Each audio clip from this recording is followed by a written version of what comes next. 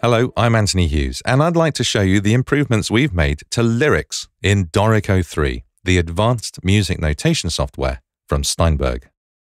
Dorico has always boasted powerful support for lyrics, but we're always looking for ways to give you better control of your music notation where you need it, and to make it easier and more fun working with the software. And we've done both of those things with lyrics in version 3 of Dorico. First of all, it's now possible to adjust the vertical position of an entire line of lyrics across a system. Dorico's default lyric placement is pretty good, and there are great options for adjusting it and automatically spacing lines of lyrics.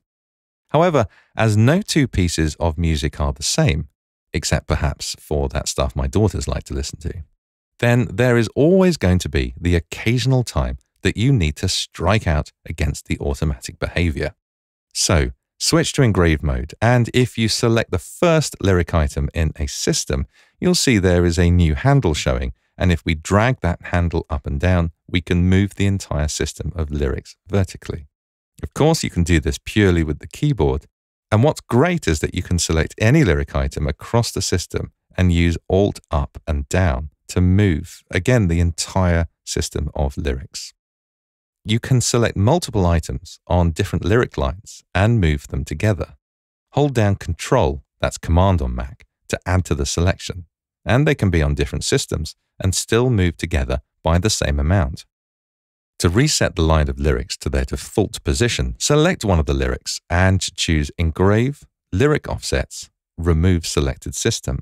You can reset all vertical offsets for lyrics across a whole frame or indeed the whole layout here too. As the vertical adjustments that you make here will be due to the specific formatting of music in a particular case, because otherwise you would be better off changing the engraving options and affecting the placement of all lyrics, then if the formatting of the music changes so that the start of the system moves, any offsets for the lyrics on that system will be automatically removed. We've made some other great improvements to how easy it is to work with lyrics as well, Firstly, it's now possible to copy lyrics from Dorico and paste them into another application, such as a word processor. You can also paste within Dorico, for example, into a text frame. Not only that, when you copy some text, either from another application or from within Dorico, you can now paste directly into the lyrics popover and the lyrics will be pasted word by word or syllable by syllable. This even works when copying lines of lyrics, really useful for contrapuntal music where each voice sings the same words but perhaps with different rhythms.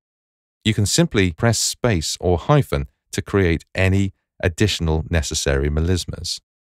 Editing lyrics is now much easier thanks to the new Edit Lyric dialog.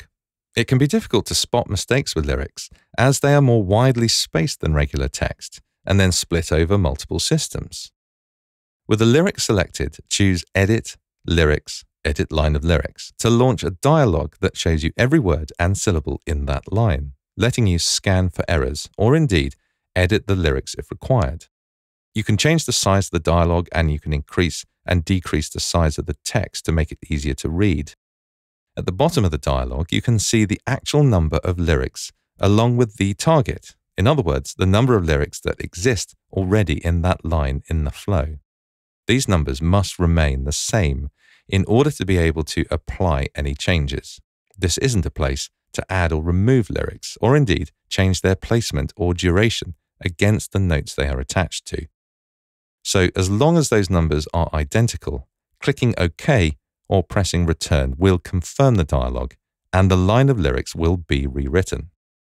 Anyway, I must go. I need to ask my daughters to turn down the volume of that Baroque concerto they're listening to. I do hope you found this video helpful. If you have, please click the thumbs up button below to let me know you've liked it and subscribe to the Dorico YouTube channel today to see many more videos like this one. I'm Anthony Hughes. Thanks for watching.